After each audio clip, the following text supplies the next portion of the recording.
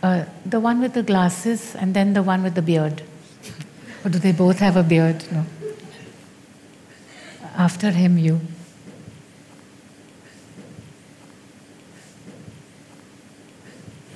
I just have a very direct question. Are you just your body, yourself? Are you speaking about me in particular, or about yourself also? I just want to understand. Uh, it's my first satsang. Yes. Um, I, I heard you saying that you're just your body, so I just want to understand it correctly. So it's pertaining to you. I think this pertains to everyone, myself included, certainly, yes. I mean, if I'm saying that to you, then I'm saying that because it's an experience. So, yeah, not just me, but all of us, we have to identify with the body and give that body an identity which is very slim because if we don't do that, then the ego takes over completely. It's like a defense mechanism to keep the ego at bay. I am the body. I am this. I've heard the other way around quite a lot. So when somebody says I'm you're the body, you know, I find it slightly misleading. Sometimes I feel I'm just the body, but sometimes I feel I'm I'm not the body. So Well, it's just about understanding that, you know, what's your name? Marimuthu. This Marimuthu is a name given to something. It's a name given to this body. And it is this Marimuthu, this body, that has to take actions in a life. So the motivating force that makes those actions happen, or, or let's say the, the impulse, comes either from the source, from the soul, or it comes from the ego. This is an attempt to simplify this entire spiritual quest because what has happened is that there has been a, an aberration that has taken place where, where increasing numbers of spiritual seekers are identifying with the supreme source, Atman, and detaching from the actions, also from the suffering, which results in absolving themselves of the responsibility for whatever happens in an attempt to escape the pain that life presents. So, what is being said is that take on a simple identity, take on the responsibility for your actions by discerning between the impulse that comes from the truth and the demandings and clamorings of the ego. Discern, go with the truth. What happens after a while of this sadhana is that the I falls away actually, but there is no identification with the Supreme Soul. So there is complete responsibility without an experience of I. And that is something which keeps you present, keeps you real, keeps you focused.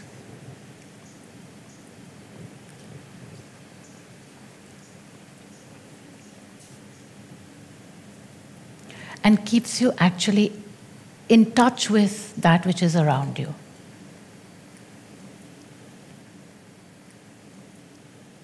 You see what I mean?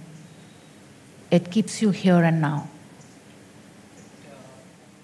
Identifying with the body, could it, uh, the limited body, as you said, um, is that not an aberration in itself? Uh, to start from there, identifying with the supreme uh, soul, I can uh, understand that it could lead to a responsibility and it's an Yes. aberration. But identifying with the body uh, also is it is it not an aberration in itself? As like Advaita says, you know, you're more than the body. This is a tool, it's a spiritual tool. It's not an aberration because there is a certain reality about the experience of the body. In fact, strangely enough, the experience of the body is actually much more real and much more present than the experience of the Supreme Self. That is an experience that happens in the conceptual. I can physically feel my body. I can't physically feel the Supreme Self. But I know that there is that because I feel it as an impulse within. I feel its, its individualized impulse or presence sending an impulse. So to actually go with this reality as the base station is not an aberration because it leads me into the understanding that the surrender has to happen from here. If I'm going to tune out into the cosmic states and take on samadhi like experiences, what am I doing in that process? I'm dissolving identity. So the first stage is I start to feel that the body doesn't have contours. Those of you who have been in those states will know exactly what I'm talking about. Then at one point, there is absolutely no contour anymore. I'm just like a blob somewhere. And at one point, there's just identity of something. And at one point, I'm here again, but I have no idea where I was because there was complete dissolution of identity. And then gradually, as I step back into the body, the contours take on a greater and greater shape. If I do that a few times, up and down, at one point I start detaching from the very perception of the body. And that is when the actions start to, or when the body starts to be incapable of actually living in this world. And if I've done that long enough, everyone has to look after me or I die. If, however, I stay in the here and the now and I say, I'm Marimuthu and I'm, you know, son of, what's your mother's name? Devendra and my dad. Mother Punguri. Why do you bring up your dad? Son of usually. Huh? Usually they're son of Yeah, that is that is usual, but this is unusual. That's your patriarchal imprint. Son of De- uh, Punguri, my Pungudi. Yeah. Marimuthu, son of Pungudi, from Tiru, Tiruvannamalai, where are you? Salem, Salem. From Salem. That's that identity with which you, with which you function. And if this Marimuthu is here and now, and he's instead of tuning in into the cosmic experience of Atman, he just says, "Oh, I have the Atman inside." It's like you're, you're present, you're here and now, you're tuning into your soul, and you're circumventing the pressure of the ego. One of the things being that you're the son of the father. It's also something society has told you. The only thing that you know for sure is who the mother is. So you go with that and you, you start to bend to this soul. What happens after a while is that you become like a servant of this soul. You're just going with what the truth is telling you to do. And the joy is increasing in your life. It will not decrease, it will increase. Because you're present, you're aware of your soul, you're also, beautifully so, aware of the soul of the other. Not in a cosmic sense, but in a terrestrial, corporeal, present sense. You're aware of the other. So, your actions with the other are much more precise and informed than when you're in that larger picture. Because if you are actually out there identified with in a samadhi state, you are actually like a spirit. There is no experience of body anymore. And then the question arises why not just be a spirit? If you are here in this terrestrial experience, then be in this experience. And just because spirituality has been saying this for a few hundred years, not even a thousand actually, doesn't mean that it's necessarily the only way. At one point, Marimuthu falls away because what is left is this body in servitude, not this body observing itself, this body in servitude, in action, not as an observer, but as the doer.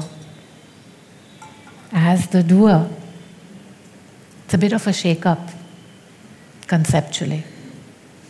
Time for the shake up. very interesting. Yes.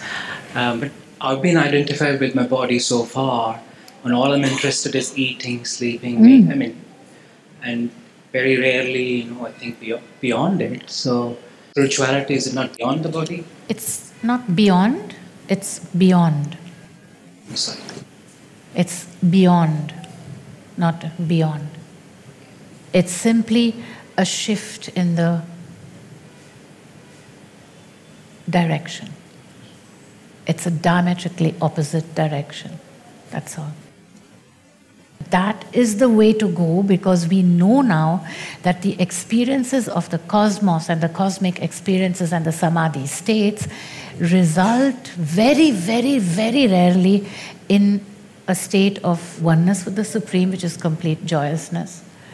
Most of the time, in most of the people, it results in physical damage to the brain, to the body, an inability to be connected with anything around, a detachment from everything, including the body and its, its needs.